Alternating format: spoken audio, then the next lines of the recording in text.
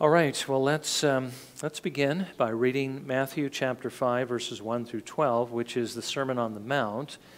Uh, in Matthew's Gospel, chapter 5, verses 1 through 12. And essentially, we're going to work our way through these things. And I think I may even just talk about the connection between these and the last, um, uh, well, the, the following three verses, which would be 13 through, actually, there's four verses in the 13 through 16. But let me read for you verses 1 through 12, and again, we're going to look at the Beatitudes in general and two of them in particular. We read beginning in verse 1 When Jesus saw the crowds, he went up on the mountain. And after he sat down, his disciples came to him. He opened his mouth and began to teach them, saying, Blessed are the poor in spirit, for theirs is the kingdom of heaven. Blessed are those who mourn, for they shall be comforted. Blessed are the gentle, for they shall inherit the earth. Blessed are those who hunger and thirst for righteousness, for they shall be satisfied. Blessed are the merciful, for they shall receive mercy. Blessed are the pure in heart, for they shall see God.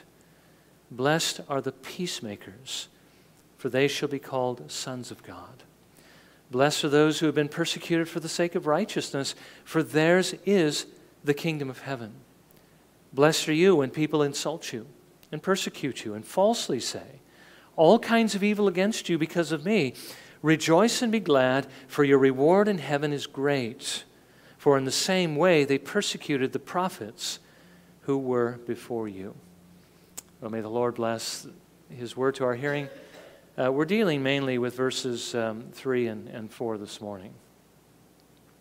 Now, just backing up a little bit, we, we have been reminded, uh, reminded lately that we are called to be like Jesus. That's the reason God saved us, so that He might be the firstborn among many brethren who are like Him. I mean, that's, that's the purpose of redemption, to make us like Jesus, that we would be like him, that, that kind of character, live that kind of life. And we also noted that we're never more like Jesus than when we share the gospel. I mean, Jesus' whole life, if you were to characterize it by any one thing, wouldn't it be evangelism? He was always reaching out, always teaching, always preaching the gospel, promoting it in absolutely every way that he could living that there might be a gospel, and dying that he might bring salvation to as many as would believe. Now, if God saved us to make us like Jesus, how can we really have any other goal, any other purpose in life than to be like Him? And how could we really focus on anything uh, more than evangelism? Now, we saw last week that Jesus does not expect us to transform ourselves into his image. We don't have that ability to do that in and of ourselves. He has given us his Holy Spirit. Now, God originally did make us like him at creation. He made us to be thinking and willing or purposeful creatures, moral creatures, immortal creatures. It, it, occurred to me, I've never heard it actually expressed this way, but it, it occurred to me that what he made us like at creation, what he made Adam and Eve like, were like Jesus perfect humanity. And the fact is, we still are made in the image of God. We still bear that image even after the fall. But as we saw last week, we did lose something that was very, very precious. We lost his moral likeness, his love for what is good and what is right because we lost his spirit. In other words, we may share now the humanity of Jesus Christ, but we don't share the heart of Jesus. We don't have his image. We are no longer like him in that we come into the world evil. We no longer want to do what he calls us to do. As a matter of fact, we want to do just the opposite of what he tells us to do. But that's why Jesus came into the world, in order to bring the Spirit back to us through his work to give him to us so that we could become like him again. And remember the work that Jesus did on the cross, which, you know, we would say, I think, by today's calculations was in 30 AD, applied both directions. It applied to those who trusted Jesus before he came into the world as they looked forward to him through the, prom- the promises and the prophecies uh, and, and really all the different types and shadows that God gave in the Old Testament. It applies after Jesus came into the world to those who look back to the cross and who trust in the one who not only died, but rose again from the dead in order to save those who believe. We saw that he saved Adam and Eve, he applied it backwards. He restored the Spirit of God to them, and with the Spirit, their likeness to Jesus.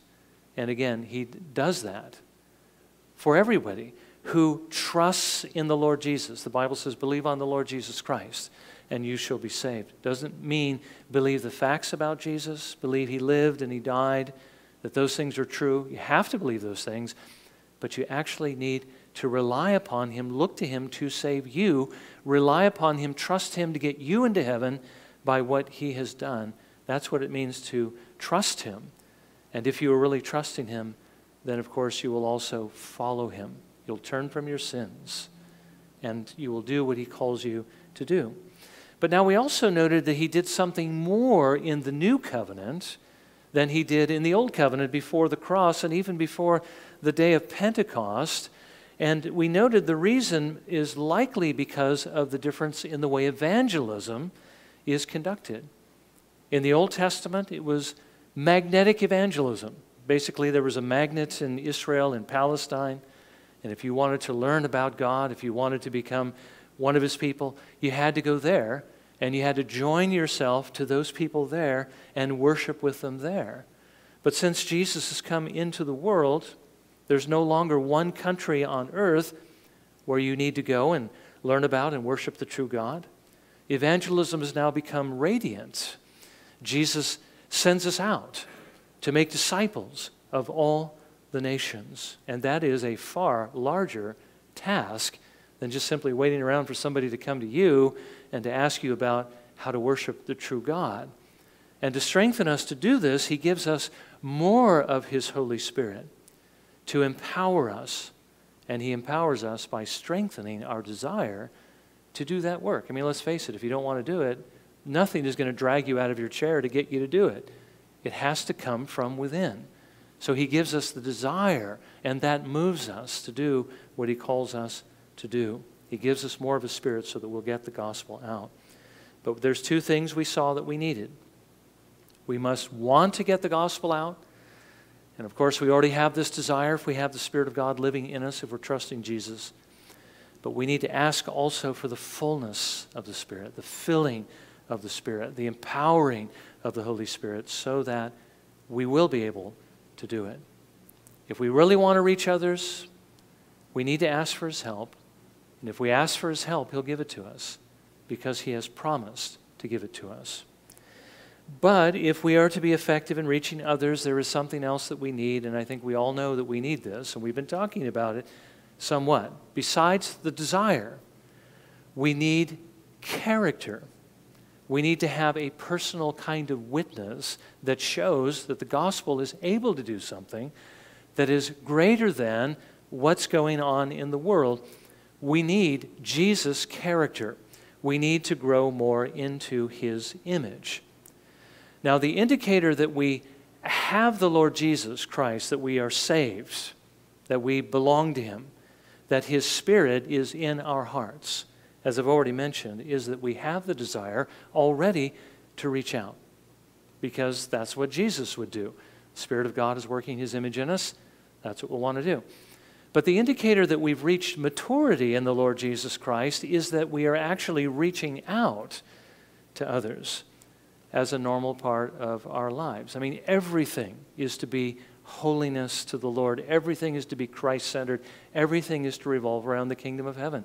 It should influence all of our thoughts, all of our desires, all of our decisions, and particularly to be the kind of witness other people need in order to lead them to the Lord Jesus.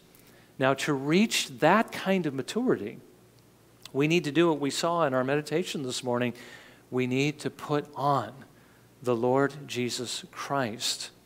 But in order to put him on, we need to know what he's like so that we know what we need to be aiming at.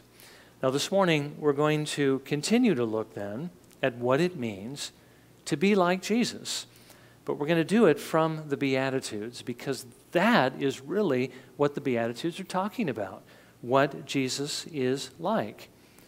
Now, two Wednesdays ago, Dr. Ferguson was dealing with the Beatitudes in his series on the Sermon on the Mount. And what he said there was very helpful. I think we saw that it was very good, and I think we all appreciated that. But Henry pointed out something that was very important. One thing that Dr. Ferguson didn't do was actually explain what the Beatitudes mean. Okay? So I thought it'd be helpful for us to do that. Now, he did have a lot of ground to cover. You know, 23 minutes, I think, are the typical length of his lectures, and he was dealing with this whole section that I read, verses really one, I think actually went all the way through um, verse 16. Uh, it's hard to cover that much ground uh, in 23 minutes. Uh, but he, he just touched lightly on it, but sort of gave a lot of background that was very helpful. So, what I thought I would do then is try to deal with them with a little more depth, which is what we're going to do today. And then, not next Lord's Day, because Bob Needham's going to be ministering next Lord's Day, but then the Lord's Day after that, we'll conclude to, to see really what these are telling us about Jesus, what the Spirit of God is doing within us to make us like Jesus, and what it is we should be aiming at in the Christian life. Now, this morning we're going to look at the first two. And again, I'll give you some of those insights that Ferguson gave, and probably some that he didn't, but uh, hopefully things that will help us understand these better. And then this evening we'll look at the second two. So, first of all, let's review some things that will help us better understand the Beatitudes. Now, the first is what we've just heard.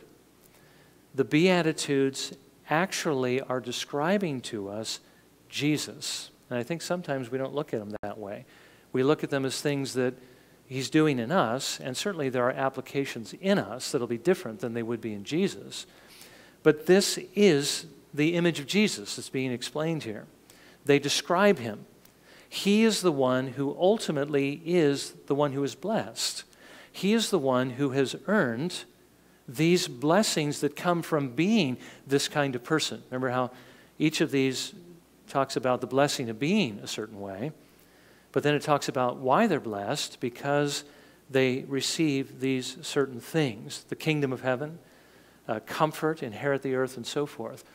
We need to understand that, that those things are the things that Jesus has actually earned because he is this kind of person. And he's the only one who has ever been exactly like this. Now, secondly, they describe what the Spirit of God has done in us and is doing in us. The desires that he puts in us when he brought us to the Lord Jesus Christ. That's describing the qualities that he is working in us. Now, we might say from that perspective that these Beatitudes are really marks of grace. They're some of the ways that we can know that the Spirit of God is living savingly inside of us when we see these things actually in our lives.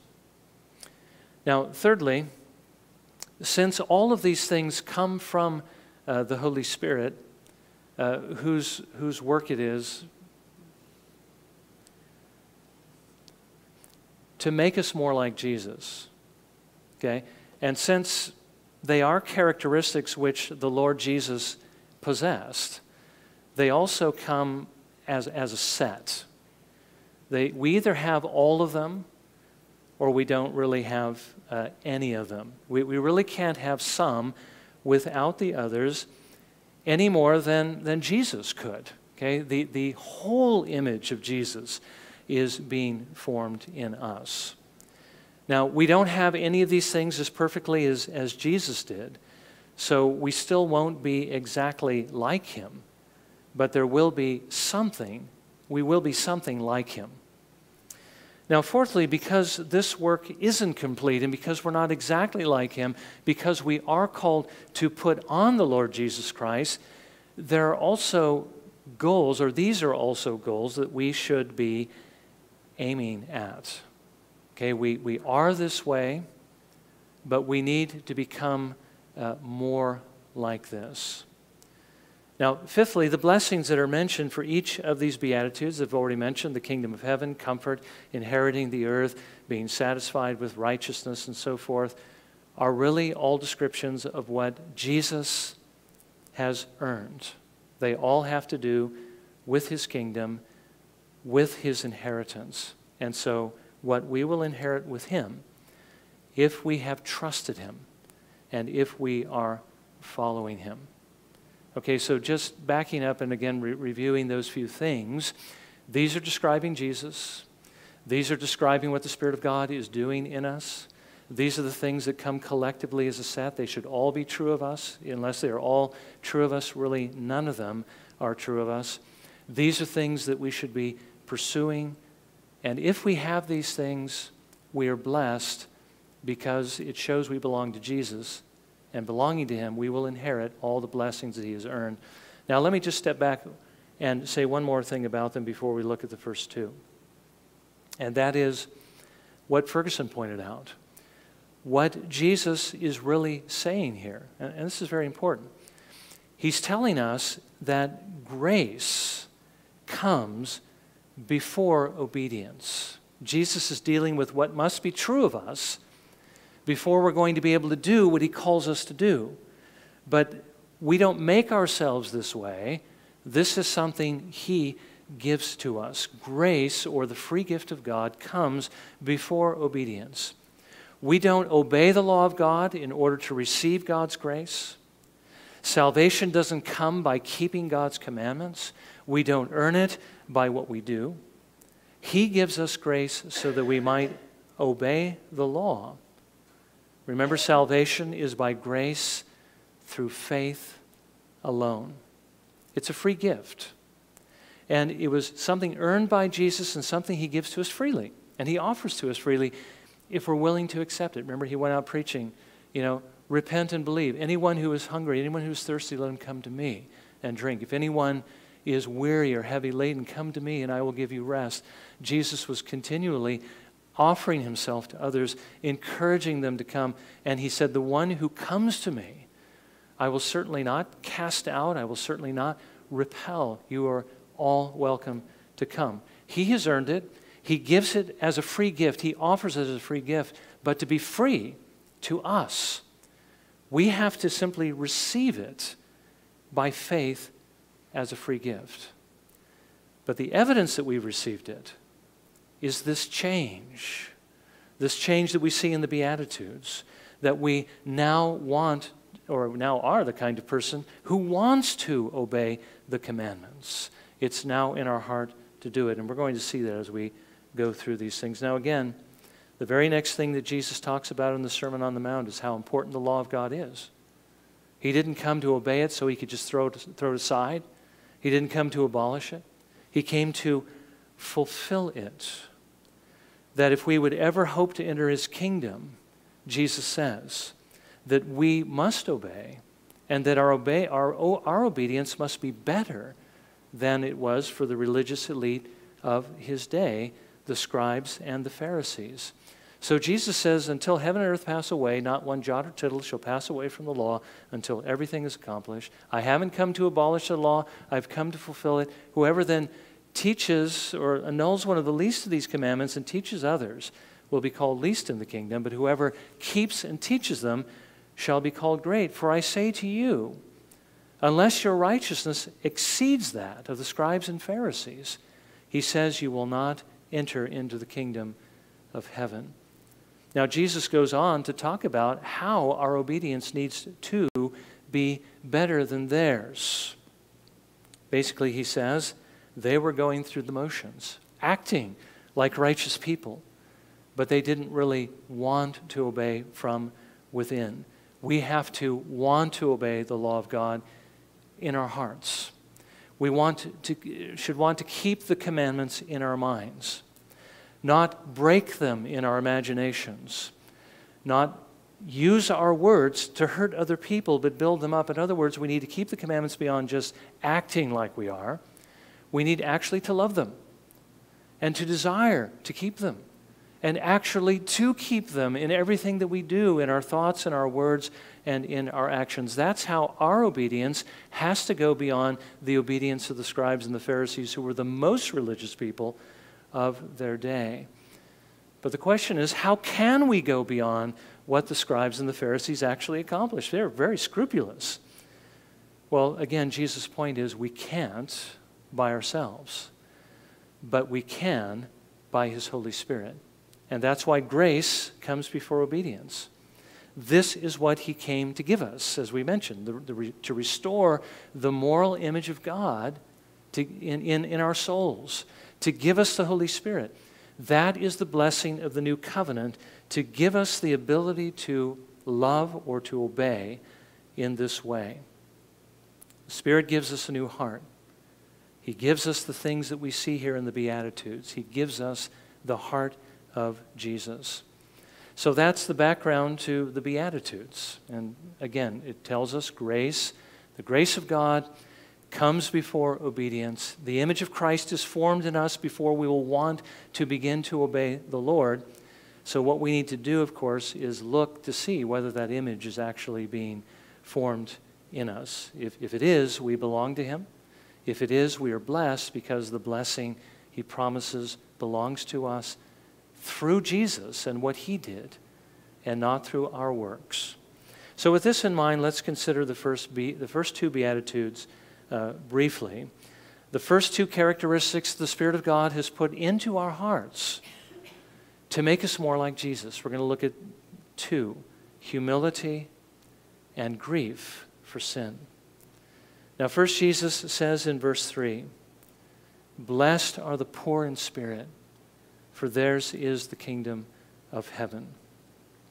Now, this phrase, poor in spirit, means humility. He's, he means, blessed are you when you are not full of yourself, but when you are emptied of self, when you become humbled and lowly. Now, again, I've told you these are descriptions of Jesus, and this was certainly true of him. This is how he came into the world. Paul tells us that being in the form of God, having infinite majesty and glory, riches untold, power, you know, just everything you would think of to the superlative, he emptied himself, not by giving up that deity, but by taking to himself our humanity and becoming a lowly and a, and a humble servant. Now, listen again to what Paul writes about Jesus emptying of himself in Philippians chapter 2, remembering that he did this not only to save us, not only to show us what he wants us to do as an example to us, but he did this to make us like this, to make us like him, to work from the inside out. He writes in Philippians 2, verses 5 and 8, Paul says to the Philippians, Have this attitude in yourselves which was also in Christ Jesus, who, although he existed in the form of God, did not regard equality with God a thing to be grasped, but emptied himself, taking the form of a bondservant and being made in the likeness of men. Being found in appearance as a man, he humbled himself by becoming obedient to the point of death, even death on a cross. So here is the the ultimate example of self emptying, of self abasing, of humiliation. We, we talk about two aspects of our Lord Jesus' work. The first is his humiliation. He, he empties himself. He comes down from heaven, takes on our nature, takes the form of a servant, and in that form, he humbles himself to serve us to the point of death. And then we talk about his exaltation because he humbled himself so much he was exalted to the place of greatest authority and greatest power.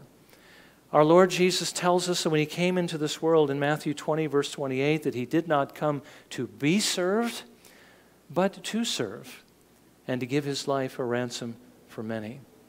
Uh, Ferguson noted in the uh, upper room discourse uh, those last few hours Jesus spent with his disciples before he went to the cross, that before the Last Supper, he was the one who stooped and served his disciples. He is the one who stooped to wash their feet. And he's also the one who, who stooped and bowed his head to yield up his spirit and die in order to wash them and cleanse them of their sins. And he has done that for us as well on the cross. The Bible says that Jesus was rich, but he became poor for our sakes, so that through his poverty we might become rich. And it was for this that he was exalted. Again, Paul continues in Philippians 2, verses 9 through 11.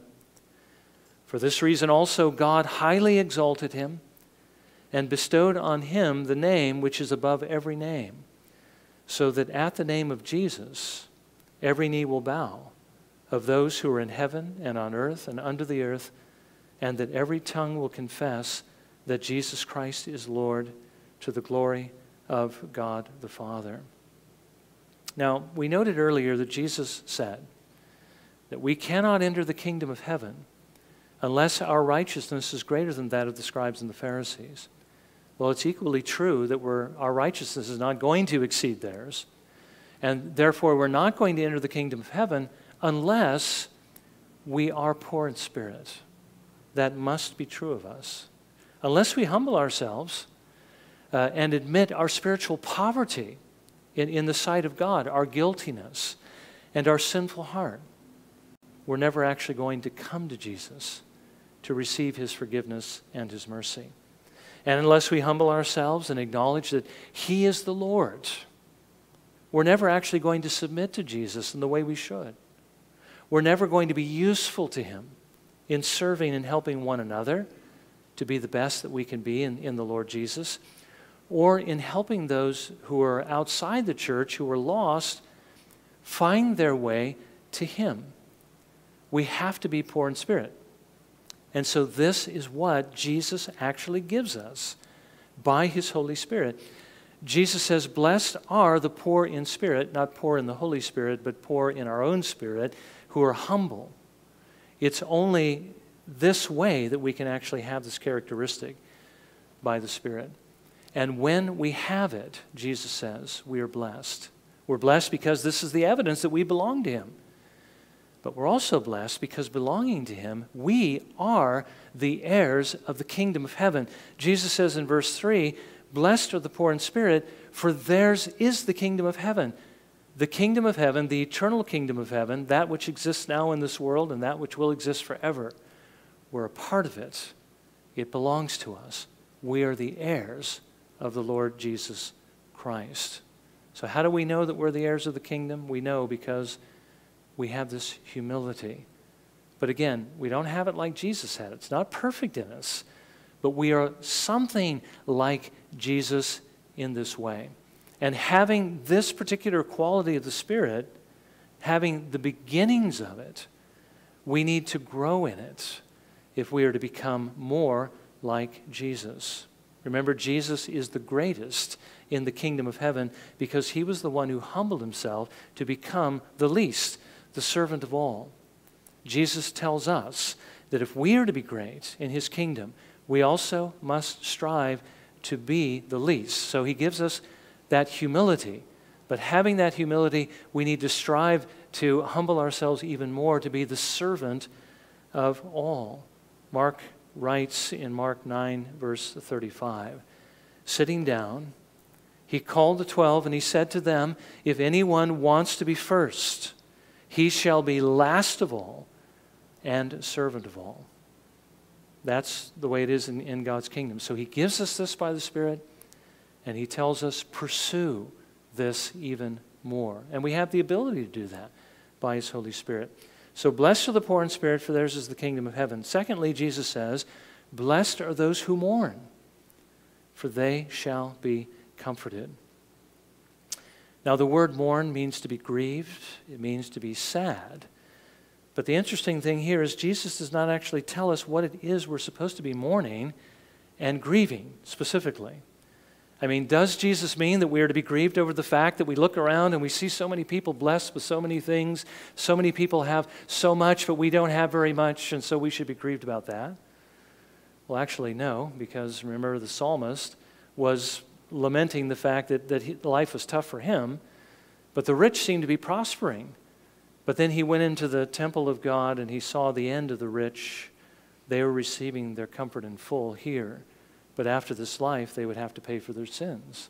Whereas he belonged to the Lord and he would be blessed. Are we supposed to be grieved that we don't look as beautiful or as handsome as, as others? That we don't have the talents that make us stand head and shoulders above everyone, everyone else, like the celebrities? Or that we don't have greater natural gifts that would help us make our mark in history? You know, uh, I'll be remembered for this or for that.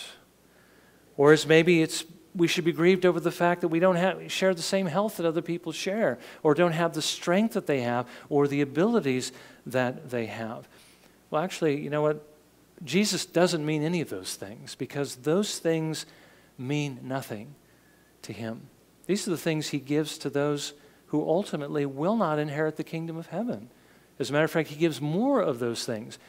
In the parable of the rich man and Lazarus, when Lazarus, or I should say the rich man, was in hell, suffering, Abraham from heaven says to him, You received your good things, you received your comfort in full, and now you're tormented. And yet Lazarus now is being comforted. He was poor on earth, but now he's being comforted in heaven. The rich man was rich, and now he's being tormented. Not for his riches, but basically, he received everything the Lord had to give him in this life, and now he had to pay for his sins there. Whereas Lazarus the things that God had for him were stored up for the life which is to come. God gives what the world considers to be, you know, valuable to those who aren't going to inherit the kingdom of heaven more than he gives it to those who are going to inherit the kingdom of heaven. So this is not what we are to be grieving over. What Jesus means is to be grieved over the, the one thing, the only thing that should actually grieve us, and that is our sins and the sins of others and the consequences that sin brings, not only on us, but on others. Now, we know that our Lord Jesus Christ didn't have any personal sin. He was perfect, and so he did not grieve over any sins that had to do with him. But he did grieve over the sins of his disciples. He grieved over the sins of those around him on numerous occasions. We read in Mark's gospel that when Jesus was in a synagogue and he saw a man with a withered hand, he asked the Pharisees whether it was lawful to do good on the Sabbath. And when they didn't answer, we read in Mark 3, verse 5, after looking around at them with anger, grieved at their hardness of heart, he said to the man, Stretch out your hand. And he stretched it out, and his hand was restored. When Jesus saw the unbelief of the Jews who had come to comfort Mary and Martha over the loss of their brother Lazarus, and I, we don't think this is the same Lazarus that was in the parable. But he was grieved when he looked around them, and he mourned their lack of faith. The, the sins of others, and what Jesus knew would be the consequences of those sins, which ultimately is, is God's wrath in, in hell forever unless they repent and turn to the Lord Jesus Christ. Those things made him mourn, they made him weep, they made him grieve. Jesus had a heart that, was, that cared about other people, and he knew the consequences of sin. Now, the Spirit works the same kind of grief, the same kind of mourning over sin in our souls. When He raised us to spiritual life, we have this in us. When He gives us love for what is good, it causes us to grieve over evil. You know, the evil that um, is in our own hearts, the evil that we see in the people all around us, and what we know is going to be the consequences of that evil. So here's another way we can gauge whether or not the Spirit of God is actually in our hearts, whether or not we're being made into the image of Jesus, because is that what we're experiencing? Are we mourning and grieving over our own sins and imperfections? Are we mourning and grieving over the sins of others, not standing up and condemning them, but as we're going to see a little bit later, showing mercy towards them, being concerned for them, and wanting to reach out to them to help them overcome these sins, to be cleansed of that guilt, and to have the power to obey. You know, do we have that kind of heart? If you do, then you are blessed. because this kind of grief, this kind of mourning, is really the evidence that your sins are actually forgiven. And that can bring tremendous comfort. Jesus does say here, Blessed are those who are mourn, or who, who mourn, for they shall be comforted. Now let's not forget that even though we grieve over our sins, we don't mourn over them the way we should. The more we grieve, or the more our sins grieve us, the more we will turn from them. And the more that the sins of others grieve us and we mourn over them, the more we are going to do to try and reach them. So we need to pray that the Lord would strengthen this particular grace in our hearts. Actually, both of these. Make us poor in spirit, make us humble, not so full of ourselves that we're seeking our own glory, but rather humble servants who are seeking His glory. And we need to mourn over our sins so that we'll turn away from them to put on the Lord Jesus Christ. We need to mourn and grieve over the sins of others so that we'll reach out to them with the gospel. The stronger these qualities are in us, the more we will do for the Lord's glory. Now, this evening, we're going to consider two more Beatitudes Blessed are the gentle, and blessed are those who hunger and thirst for righteousness. But for now, let's bow in a moment of prayer and let's ask the Lord to help us search our hearts with regard to humility and whether or not we're mourning and grieving our sins as we prepare to come to the table of the Lord. Uh, before we do come to the Lord, we'll spend just a little bit of time uh, reflecting on what Paul tells us in 1 Corinthians 11. But for now, let's, let's just ask the Lord to apply what we've heard uh, to our lives. Let's pray.